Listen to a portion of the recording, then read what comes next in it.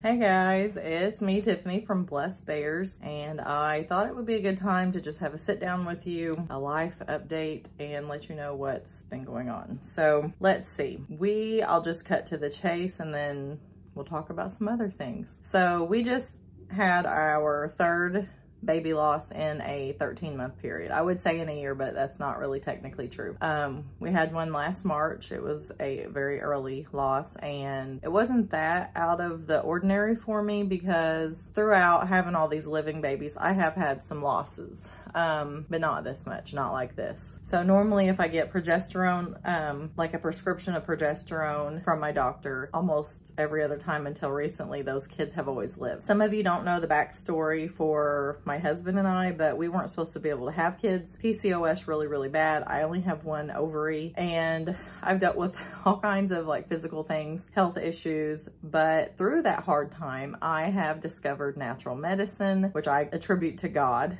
and um, natural medicine has helped me far more than traditionally like the medical route, like the mainstream Western type of medicine. Like if you go to the doctor and get a prescription for pills and stuff. Usually those kind of things have always caused my body harm. Okay, had a little interruption there. But like even like even things as simple as an antibiotic has done you know, like negative things to my body. So throughout time, I have a, um, a good relationship with my OBGYN. I have a lot of respect for them as people, but as far as like the system in general, I don't have much respect for. So I feel like I've kind of had to take my health in my own hands. And when I've done that every single time, I've lost weight. Um, I've just, good things have happened. So everyone knows, and sorry if you hear kids in the background, everyone knows that these last two years have been hard on us all for different reasons. Um, before, before that, I had a lot of life things happen that I would say would be very severe. Um, it started 13 years ago when I, we had a stillbirth and I call it a stillborn. Some people might call it a miscarriage. I gave birth to her, so you know, maybe that's the wrong terminology. She was at 18 weeks along. Anyways, my point is that kind of started this spiral of a lot of hard things that happened in my life. I'm not going to go into all the details of them, but it was a lot of things. And then another huge thing happened three years ago where my grandma, who I was extremely close with, she passed away. And so what I'm getting at is I feel like stress has really done a lot of damage to my body and specifically my thyroid and my adrenals and things like that. So had the one loss in March. I, yes, was sad about it. It wasn't as devastating as now I feel like things are. So then um, I'm like, okay, well, you know, we had a loss. I usually will have like, usually like one loss in between each living kid. And some people are like, oh, you know, there's all kinds of opinions. There's all kinds of opinions and I get it. And I understand that you guys don't understand everything where I'm coming from. I have a difference of opinion about the maker of life and how we should give God that, I don't know, that decision making process or whatever. But I'm also not saying like if there was like some major terrible things and it was like life and death and it was really severe, I'm smart enough to know that God also gave us a brain to make the right choices too. So anyways, so then we had a loss in October, ironically on the National Pregnancy Loss Day. So like that has a whole new ouch in it for me because it was hard enough to go through the Gabriella thing. The loss in October was so hard because we saw a baby, we saw a heartbeat, and then it passed away. So that was like really traumatic and it kind of opened up some wounds from when I lost Gabriella. So that was really really hard. So I went through some faith things. I have a video about my faith in God. I went through some things in the in the meantime in between all of my like statements of faith. I went through some things that were not like, you know, y'all might not think that I'm just this wonderful Christian. I was very angry at God, I had a lot of questions for him. And honestly, and I kind of went through that again. I'm like, really again? So I find out that I'm pregnant um, last week. Yeah, a little bit over a week ago. Happy, but really scared and Stephen was happy we decided not to tell the little kids because they cried their eyes out this last time in October. So we were gonna wait until I made it to like 12 or 13 weeks and then let them know. I wanted to make sure that there was for sure like a fully formed, growing at the correct, you know, measurements baby going on before I said anything to my little kids. So I did tell my big kids because there's just certain things that, you know, I wanted to kind of um, like just precautions and things. So anyways, and then a few days later I started um, and I was immediately put on progesterone by my doctor, which they're really good about that. Um, I went to infertility specialist years ago after I had the stillbirth because after I had the stillbirth, we had infertility. And so altogether, it was a four year period of a lot of grief, a lot of infertility. And Stephen and I had to do different things. We did IUIs and stuff like that. If you don't know what that is, you can look it up. It's not fun. But anyway, so, and the doctors told us 13 well, no, 11 years ago, that basically you have unexplained secondary infertility and your only hope, basically, if you want to have any more, is to do IVF. And um, I felt in my heart at that time that it wasn't for me. And so we just sort of, um, and so that's a good thing, you know. So and throughout these hard times, I realize I'm very blessed. I realize having nine kids is a huge blessing. So honored to be their mom. You guys don't see all of the things, you don't hear my thoughts. And I say this because some people will say things like, well, just be thankful for what you have. I'm very thankful for what I have. But Landon would not erase Kennedy and Leland would not erase Roman. Like one kid and being thankful for one kid does not erase the pain of losing another one. It would kind of be like me, like if say your grandpa passed away, it would be like me saying, well, be thankful you have another living grandpa. Like don't grieve, you have another one. Why are you crying? You have another grandpa. That's just an example of how I think that those words Sometimes we mean well, but it can be very hurtful because most people who aren't like narcissistic sociopaths are thankful and grateful for what they have in life. So yes, I'm very thankful. I'm very blown away that God gave me the kids that he did, but it's still very painful. So anyways, back to my story. So um, immediately got started on progesterone and then I started feeling kind of different, um, like uh, not as strong pregnancy symptoms, but in the past I've had some where I feel really, really sick. Sometimes it goes away, you know, it varies. All the kids are so different. All the pregnancies have been pretty different, I guess. So I tried not to worry about it, but I took, I kept taking pregnancy tests and usually that, that test line should start getting darker and darker because your body builds up more of a chemical called HCG. So I called my doctor. I said, my tests are getting lighter. I think we're going to have a miscarriage. It's just my gut feeling. And so I went in and had blood work and yeah, the HCG was pretty low. And yeah, so this week I'm going through the whole early miscarriage. Um, I cried really, really hard because it's just like, you just, you just think in your mind, you know, not everyone gets a rainbow baby. Now I did with Leland and some of my other kids, I had losses in between them. And I realized like Leland, Benjamin, I mean, a lot of kids wouldn't be here had I not had those other losses. And it's a weird thing to think about. It's totally weird. I'm glad I didn't have to make the choice of what kid stayed and what kid went. Um, God did that for me. And I love my kids that are here on this earth with me. But my heart still hurts. So that's where I'm at. Um, I've cried enough. I was numb for a few days and today the emotions are hitting me kind of hard about just multiple things. But I want to say something. So when I kind of started talking about the medical stuff, I guess the update is to let you know that like I have made a choice in the past to like watch the news and I've already talked to you guys about this before. Listen to people's opinions, talk about how good or bad the president is of this country, that country, our country, you know, like all these political things. And that kind of stuff takes my peace my body is going through some things. I believe it's my thyroid. I looked at my levels and they're really not that good.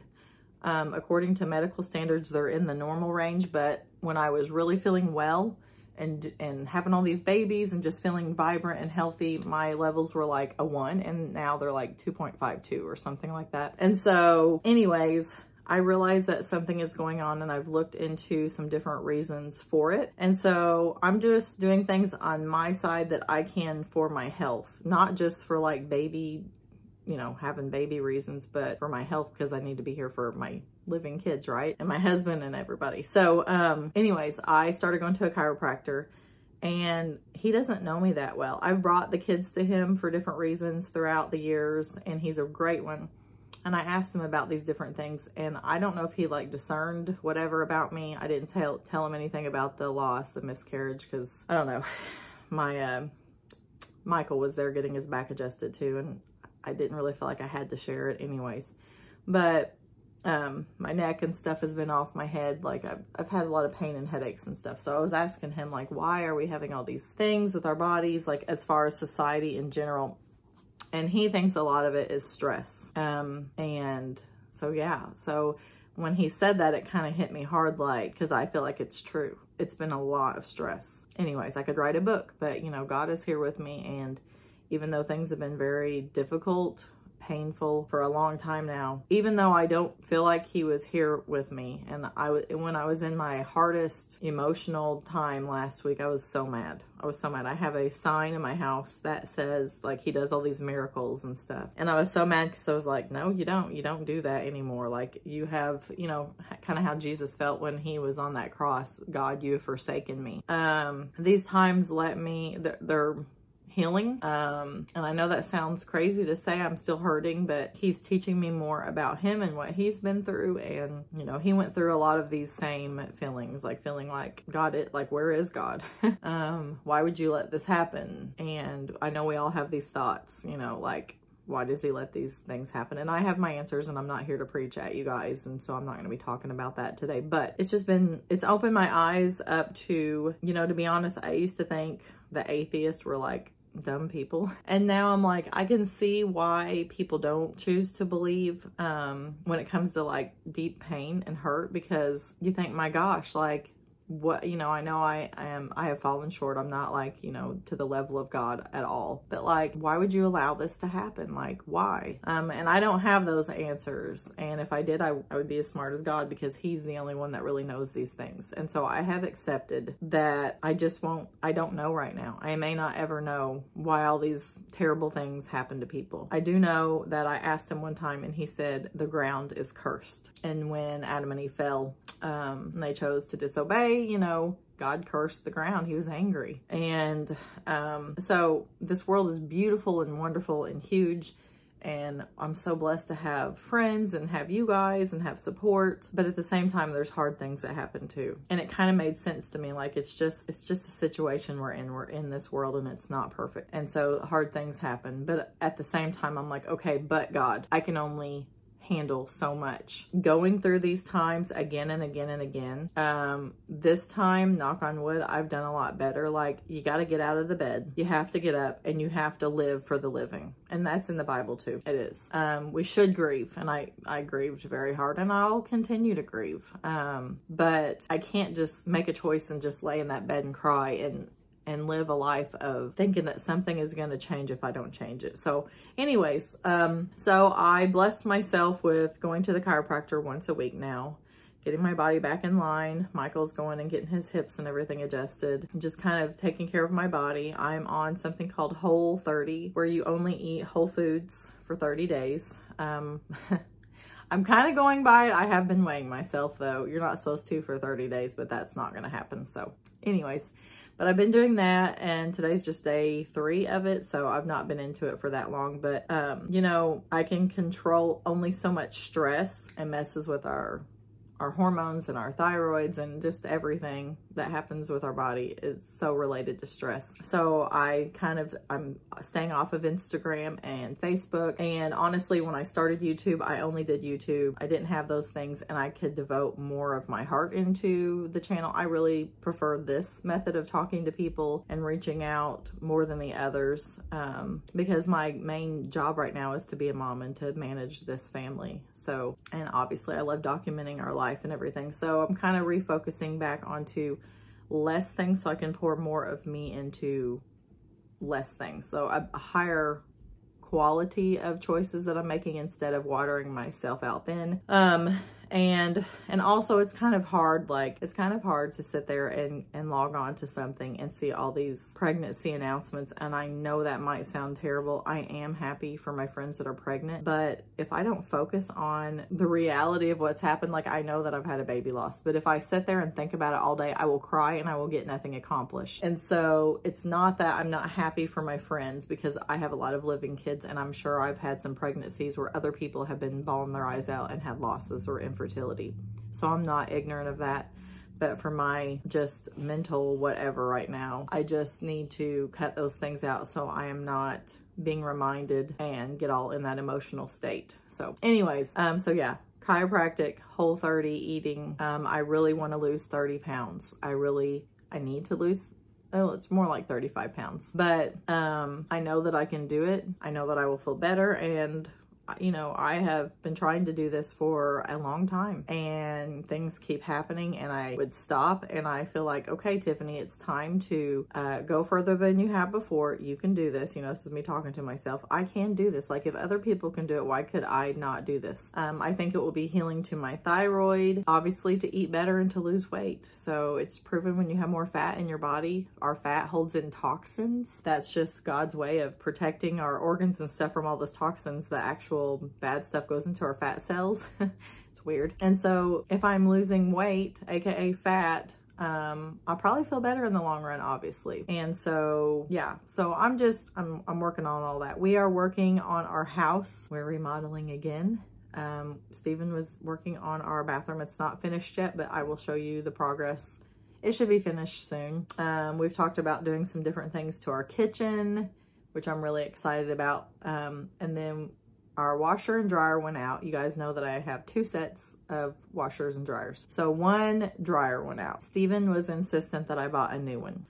Well, my other one's not like in bad shape. It just needs some parts. So now I think we're going to move my laundry room into the family closet, rearrange a bunch of stuff, move out the, um, I have like a big freezer and like a small refrigerator in the family closet. And so I'm going to be moving, well, not right now, but soon upcoming, we're going to be moving sort of things around and it's going to be so much work for Steven. Oh my gosh. Um, Steven's also been doing a lot of work. He has his normal job that he's done for 12 years, I guess. It's in law enforcement, okay? So I just don't share a whole lot because, you know. So he does that full time and at night. And then during the day, he does heating and cooling. And we just started in October. And so, and we started literally the week of my miscarriage, my middle miscarriage. And so if that gives you any idea of how stressful it's been, it is so hard to start a business, especially heating and cooling because you have to have so many tools so many parts because everyone has different brands and types of heating and cooling units for their home. We've spent so much money on tools, it's insane. So we, we're not like in this big profit margin part of life, but God is blessing us um, more than I thought, like more than I imagined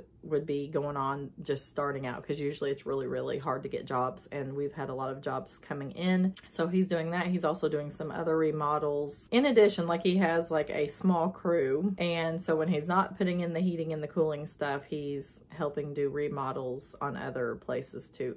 So he's so busy. It's the most busy, insane time of our life ever. Like it's crazy. Um, sadly, I'm used to not seeing him much and I hate that. And he'll say, I miss you. And I'm like, I miss you too. And I'm used to it now. And he's like, well, I'm not used to it. And I'm like, well, I'm not trying to mean it like in a bad way, but I'm literally just used to it. Like, I don't know, it's rough. We have to do this because he can't just quit the first job because this is not like a, you know, a lot of people don't know about our heating and cooling business yet. So it takes time to build up. So this is like a really, really rough, stressful time in life for us all.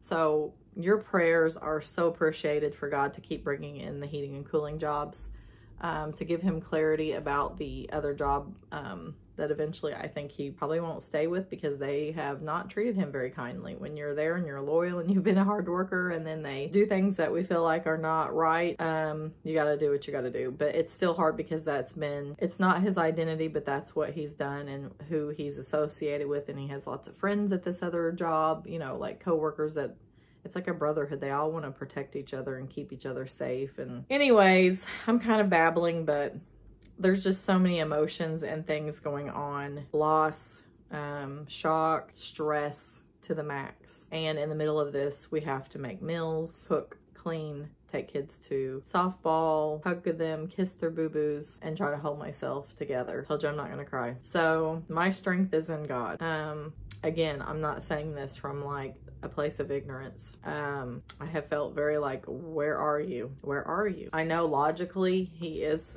he told us he would be there with us. Sometimes there's, I hate the saying, the teacher's quiet during the test. Like if we go in and we're in school, the teacher sits down and they want to see what we know and what we're going to do, right? And then you know, either pass or fail. I don't know if I've passed or failed this because I've definitely not said kind words to God. I've just been very real with him.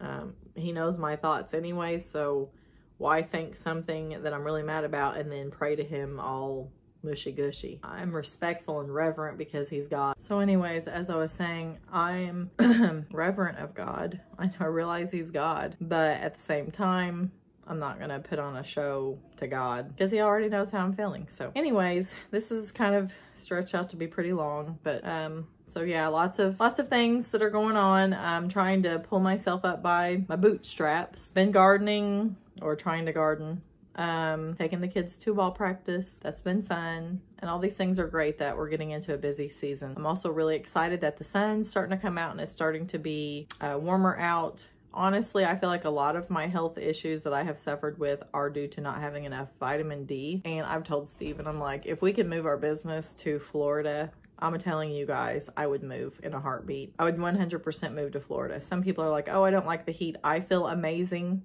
in hot weather. I feel like there is a extra energy of life in me in the spring and summer and early fall that there is not in the winter. And I know it has to be vitamin D. Um, you know, being out in the sun produces all of that. I really would move if we could, but that would be so hard to like start a new business there. But there is a great economy in Florida. I have loud screaming kids in the background. okay, hold on. Anyways, I'm gonna wrap this up. But yeah, I would totally move if we could. If we could make it work. The prices of homes right now are like insane though. We would have to have like, I don't know, four hundred, five hundred thousand dollars to build or to to buy a house in Florida right now that would like it give us like one acre and a decent home. So not really realistic at the moment. But anyway, so I appreciate your guys' prayers. Like I said, I feel like I'm repeating myself. I've had so many interruptions with this video, but I'm just going to shoot it out. This is what it is. But please pray for my big kids who do realize what's going on. They're dealing with sadness about it. Everyone was kind of excited. Um, please pray for Steven and his heart and his mind right now because he is so bogged down with stress from doing all of the jobs to make it work. It's just, it's a lot on him. Um, and of course, sorry, Ellie's screaming. That girl is so sassy. I'm telling you what, she's constantly telling someone how they're doing something wrong. But anyways, I'm just gonna keep talking. Maybe not. Now it's Roman screaming. I'll be right back. Sorry. Anyways, Roman and Ellie, they are button heads and they're fighting over like legit. It's a big deal to them, but yeah. Anyways, and then of course me, I'm in the past when hard things happen, I kind of just get in this like, I don't know, like you feel like you're paralyzed, like you just can't move on but we have to move on. Not that it, I'm going to pretend like it didn't happen. I very much am aware of what's happened, obviously. But I just find when I dwell upon things, it makes it really miserable. So anyways, if you do watch or follow or whatever it's called on Instagram. I am taking a long break, but I will be posting here, obviously, on YouTube. And I hope to do more often, but I just was not in a place last week. It's been a week now since I've known pretty much about the impending loss. And I cried so much last week that you couldn't even recognize me. My eyes like, when I cry, my eyes swell up like ridiculous. Like it looks like, it looks like that. It's ridiculous. It was so bad to where I couldn't hardly even like keep my eyes open. I cried so much. And Landon had to take Benjamin and Leland to the baseball practice. I texted the coach and I'm like, I'm really sorry. I'm going through a miscarriage. And I just look like I can't even open my eyes hardly from crying. And I feel terrible because I'm the kind of mom that has to be there, but I'm sending my oldest son for this one. And he understood. And so I'm glad that there's caring, understanding people that are not judgmental. So anyways, I realize that some of you don't, you know, uh, some few of you who watch us don't agree with whatever um, having so many kids. We're not living off the government. Um, I'm not like 50 years old, not even 40. And so, you know, you might think, well, um, this is a sign you should have no more kids. That was said to me when I had the stillbirth, when I lost Gabriella. And that was a bold-faced lie because I had six more living kids after that. So if you don't have anything nice to say, just, you know, if you don't like large families, then don't watch us because that's what we're about. And I didn't search out and try to live this life on purpose. This is the life God has set forth for us. So if you hate it and it repulses you, I get it because I actually used to, when I first saw the Duggars on TV, I thought that was the most wackadoo crazy family ever. I did. I was repulsed. I remember having a repulsed feeling when I saw their show. Um, so it's easy to judge people that you don't know. It's easy to judge me because you only see a few minutes of the multiple hours of life that I'm living. And this goes the same towards you guys. So anyways, you know, I'm not the kind of YouTube mom where I'm really soft and kind in my reactions to people. I'm in a place now in life where I'm tired of being too nice and being taken advantage of. So I'm just, I will delete comments that are unkind. So as simple as that. Um, but anyways, so yeah, and I hate to say that because most of you, 99% of you are the sweetest, most caring, loving people ever. I have other friends that have YouTube channels and they get so much ugliness and it's like, if you don't like a large family, why would you watch? It makes no sense to me. Like, I do not like certain things. Like, let me think of something that would not appeal to me. Let's say wood burning okay let's say that i didn't like wood burning and i was it was not interesting to me at all right Okay, let's say instead I like, I'm just making up a craft, okay? So it's not getting all political or weird or whatever.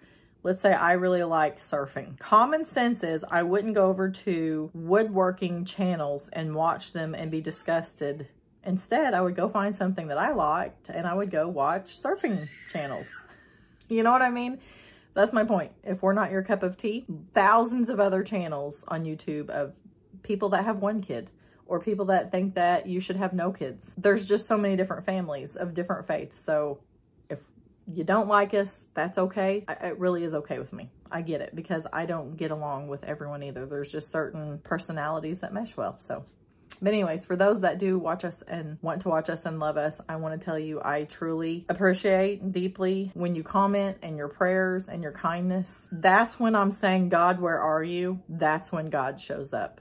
So Thank you for that. Thank you for being literally the hands and feet of Christ. I'm going to go to the doctor today. They called me and I didn't really want to go see him. Um, my doctor called me in and wants to see me and figure out what's going on. So if you could pray about that, that God would either give me peace to just be done and this is it and just embrace Ellie and super, super spoil her more than she's already spoiled as the baby, you know, the last one possibly and give me peace if that's really what is really it for us. Um, I've asked him to remove that desire from me multiple times and he's not yet. So, but I can't do this again and again. Like you can't control what happens to you. But again, like I said, there's certain logical things. God gave us a brain and I'm smart enough to know if he gives me the feeling that it's over and we shouldn't have any more kids and this is it, obviously I'm going to listen to God because he, in the end, knows what's best for all of us. So, all right. I've babbled on long enough. I love you guys. I will see you on the next one.